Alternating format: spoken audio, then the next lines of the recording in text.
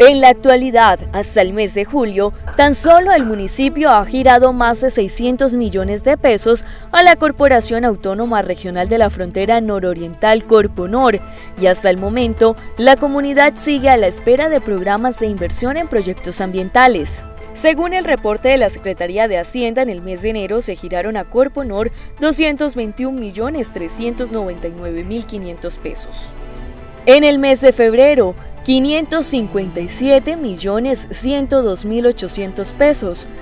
En el mes de marzo, 120 millones 849 mil 600 pesos. En abril, 64 millones 391 mil 300 pesos. En el mes de mayo, 55 millones 414 mil 200 pesos.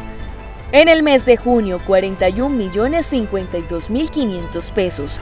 En julio, 51 millones 481 mil 800 pesos. Para el 2019 se proyectaron un giro por más de 1.200 millones de pesos.